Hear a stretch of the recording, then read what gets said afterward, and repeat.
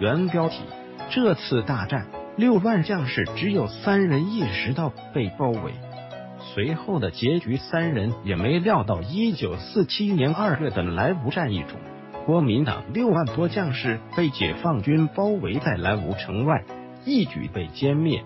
仅第四十六军军长韩练成和一师长两人逃出，其中韩练成还是由解放军秘密放回去的。这一仗非常有意思。二月十五日，解放军歼灭敌第七十七军后。敌六万大军立即开始撤退，可是敌前线最高指挥官李先洲中将率领第二绥靖区前进指挥所率部一撤到土司口，就陷入了解放军的包围中，再也不能拔身。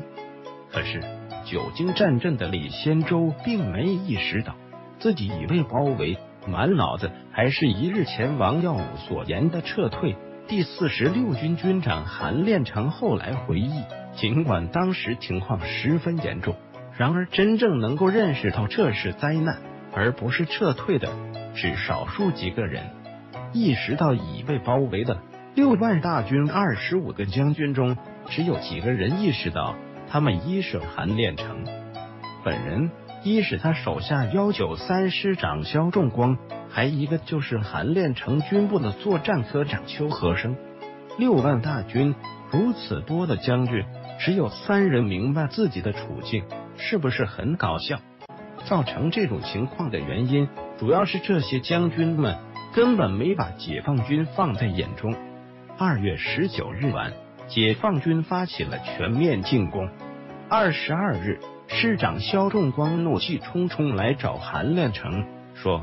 军长要撤，应该早撤。现在已经被共军包围，能够撤退吗？倒不如固守莱芜为有利。结果他被韩练成训斥了一顿。固守要有粮弹，你有粮弹吗？把这么大的部队密集在莱芜城关，共军一顿炮火，会不会就要全部完蛋？他的作战科长邱和生也意识到。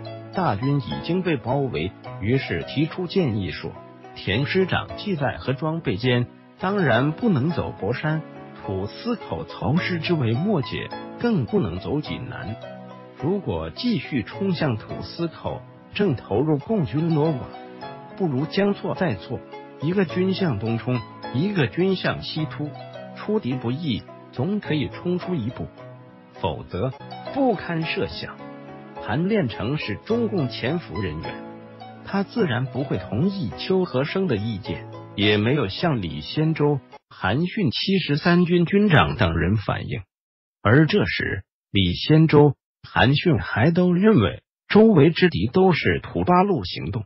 此战如果说有意思的话，不仅在于六万将士只有韩练成三人意识到已被包围，前途难料，还在于随后的结局。这三人都没有料到，韩练成后来回忆，在当时的估计，无论是死是活，一定有场恶战。然而恰恰相反，数小时内就结束战斗了。三个人都是明白人，都认为接下来必有一场恶战。可是战斗之快，歼灭近六万人，解放军只用了区区几个小时，这却是他们万万没料到。他们为什么料不到是如此结局？战后，白崇禧气恼的对王耀武说：“就是五六万只鸭，捉起来三天也抓不完。”这一战，国民党最高前线指挥官李先洲和二十名将级军官，共二十一名将军被俘。在混战中，肖仲光手下两个团全部被打散，他本人负伤，最后只好坐在地上。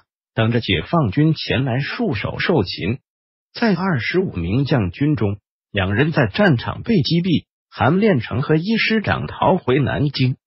战斗结束后，第四十六军参谋长杨再模回忆，是夜半时候进入间房子，一看见四十六军的将官都在一块，同时还有第五十一军三个师长李步清、李王堂、李树轩。